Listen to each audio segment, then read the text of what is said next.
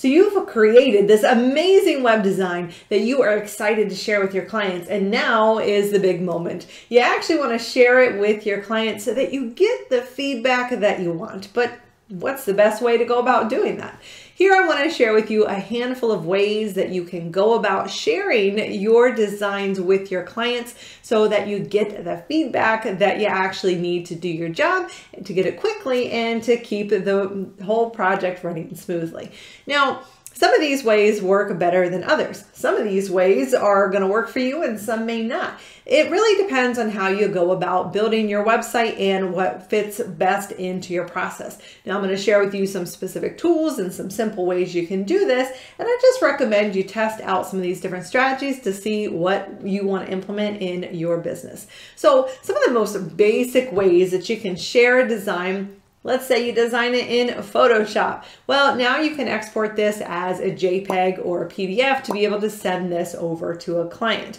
Now, some of the struggles with something like a JPEG or a PNG file is that depending on the software that the client uses to open it, they might see it all scrunched up, they might see a lot of white space on the side, and they might get all confused and, and wonder how this is actually going to look on the internet. so this is where they start to ask a lot of questions that really don't tend to matter.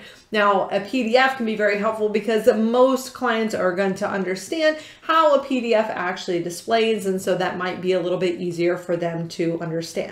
Now, the easiest way that I think that you should show clients, regardless of the strategy that you use here, is that you should be presenting your designs live. There is no better way to get the feedback that you need to keep clients on track and make sure they're giving you the right feedback that you need and not all these random little changes that tend to pop up when we just send over a design and say, well, let me know what you think because well they're going to let you know what they think and what they think is probably going to have nothing to do with the actual goal of the project. They're going to want you to change this color over here make this a little bit wider. Can we play with this font? Could this be bigger? Could this be smaller?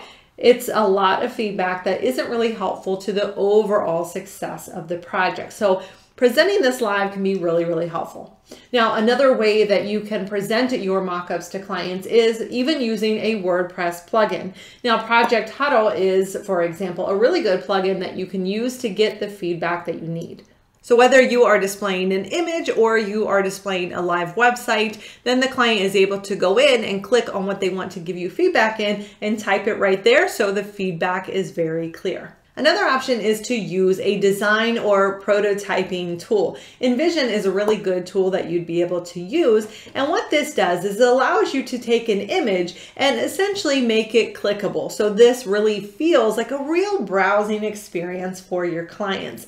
So that way you don't have to build out the entire website based on your design before they're able to click around and play with it and see how it would actually work for them. One of the best parts is that you can also do this in real time so you can get that feedback right there that you need. Now, there are also visual website feedback tools like BugHerd, for example, and these also allow you to work in real time or be able to send this off to a client who will review it later. But this will essentially allow them to look at either an image or, again, a live site and be able to pinpoint specific areas that they want to give you feedback on. And it really just helps keep that feedback organized for you.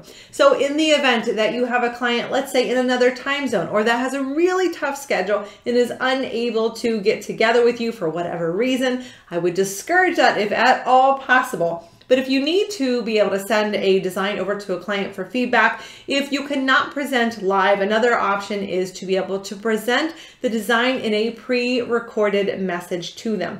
You can use a simple browser tool like Loom, for example, that allows you to take a video of your screen while at the same time you on camera in the bottom corner, and you're able to walk the client through your design.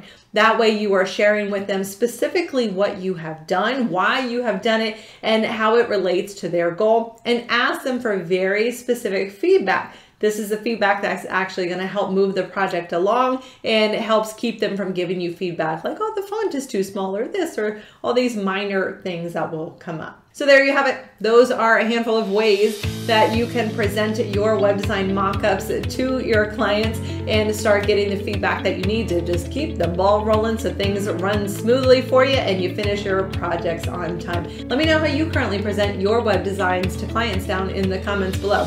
Thanks so much for watching. I'll catch you next time.